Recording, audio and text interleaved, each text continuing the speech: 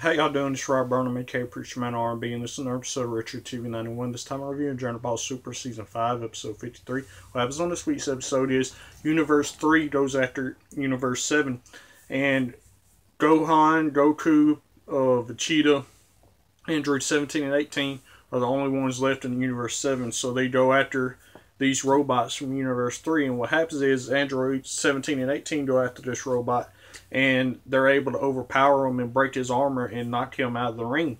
Well, after this, there's these three other robots, and Gohan's taking them on by himself. That way, he could save Vegeta and Goku's strength.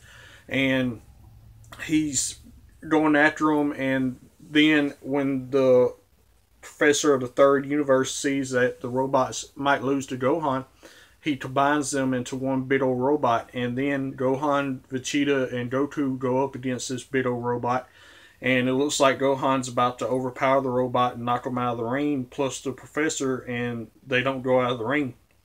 And the professor says they're going to do their final attack in final form to take out Universe 7. So that's all that really happened on this week's episode. My question for y'all is now that the professor and these three robots are left in Universe 3, what's going to happen with that? As always, Preacher Man R&B signing out. Guys, GG is awesome. This has been another episode of Retro TV 91.